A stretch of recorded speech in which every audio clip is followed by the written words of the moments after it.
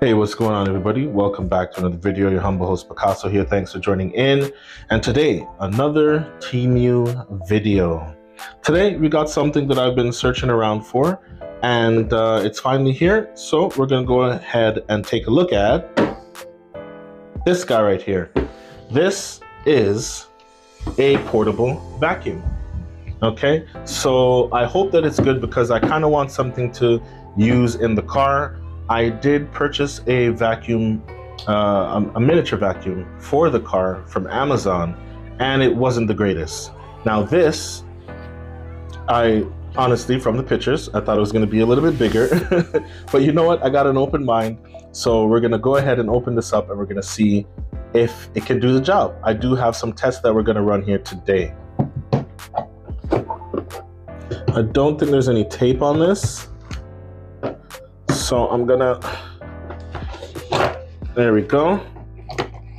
Gonna open it up like so. First thing I see is this part here. Okay, so I got this, I got this part. This is the first thing I see. All right, gonna rest that down over there. Next, we got some big parts and some small parts. We have this here Okay, we got this part. All right. Then let's take the bag out. This part has some weight to it. This is heavy. Let's put that to the side. We got a charging cable, which is USB Type C. As you can see there, Type C to Type A. Always a good sign when you see Type C. We have uh, this little brush. Here, I'm assuming this goes on the end of this like that. So if you need a brush, you have a brush, or you know what, maybe that's just how it's supposed to be. It does show that on the box that the brush is there. And then we have quick start guide. Okay, that's all good. Let's file that to the side. Let's open the plastic. And here it is. I think that's a button, but the button button but um okay. Let's get rid of this plastic. Might have to charge this guy up. Oh. Okay so it wasn't the button. It's more like a protector for the button. I'm gonna go ahead and press it. Let's see. Ooh. Wow. Okay. All right. All right. I like that. All right, let's put this thing together. It seems pretty straightforward. I think all you really got to do is take this part. So this is uh, some type of filter, right? Now, again, it's small, but uh, I don't think it's it's it's not exactly what I want for the car. Even though the car doesn't get that messy, but um, I don't know if this is going to be able to handle any mess in the car that my kids might make. So you can see the little groove right here. Okay, and the little groove here, right there. And go ahead and slide that in, turn, and it locks into place. Okay, on both sides.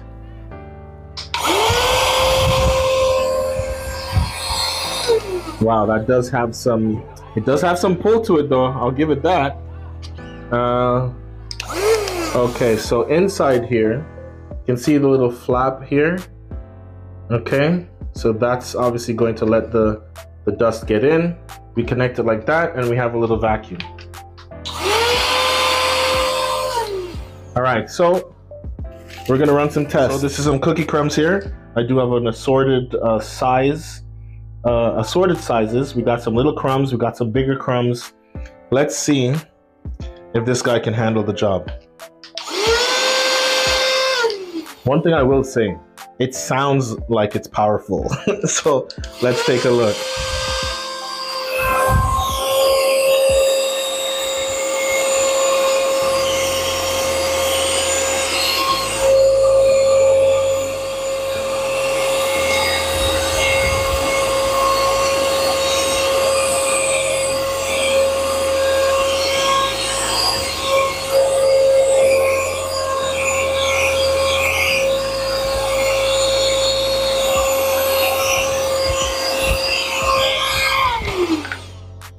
Okay, um, I am pleased to say it did the job.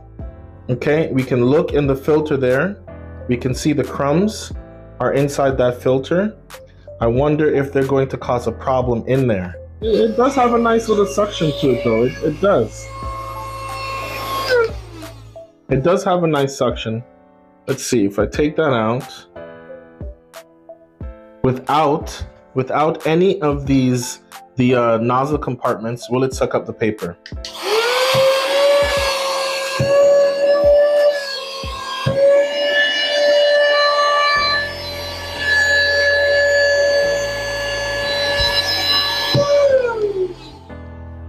Okay, so it does suck up the paper. Now see, my concern was that little flap part there. It's not really, you know, like you gotta watch it so nothing actually comes back out. Okay, I think that could have been set on a little bit more securely, but I do know that it will pick up the crumbs. I don't know how much it's gonna work inside the car, but I will definitely give it a shot. So I have some shreddings here from my shredder. These are my old driver's license, my old health card, that type of stuff. Let's see if this guy can pick it up.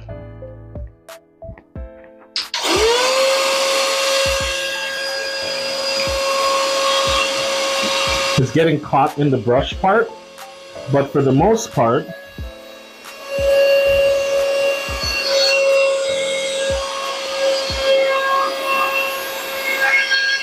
it did it it did pick them up. Honestly, I'll give this a three out of five. Okay, the little flap, it is a bit smaller than I thought it was gonna be.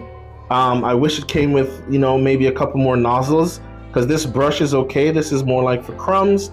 You know, if you have something a little heavier, you want something a little bit more firm. That way you can actually like really get in there with some some elbow grease. But honestly, yeah, this is a three. You know what? This is a 3.5 out of five.